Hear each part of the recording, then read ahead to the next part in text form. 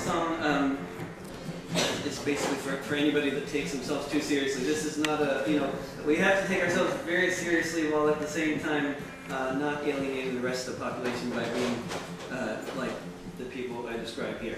This is, uh, it's sort of a, you know, instructive. And it's,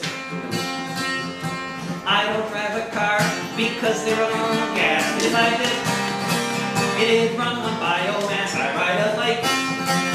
Or sometimes a skateboard. So fuck off all you drivers and your dummy boards. Sitting all day in the traffic queues. I'm a better anarchist than you. I just live on moldy chives or the donuts that I found in last week's dumpster dive. People in that restaurant, I think you are so sad when you could have been eating bagels like the ones that I I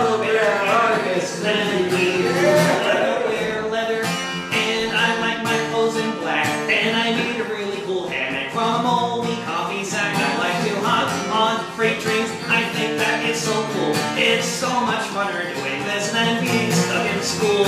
I can't believe you're wearing those brand new shiny shoes.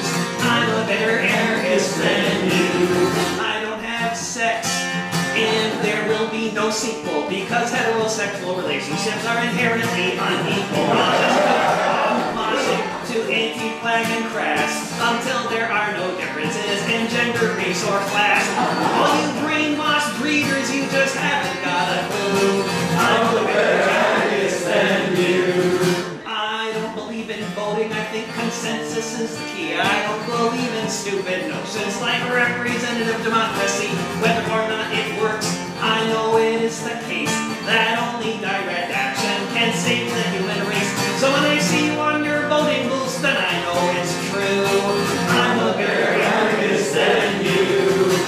I am not a pacifist. I like throwing bricks, and when the cops have caught me and I've taken a few licks, I always feel lucky if I get a bloody nose because I feel so militant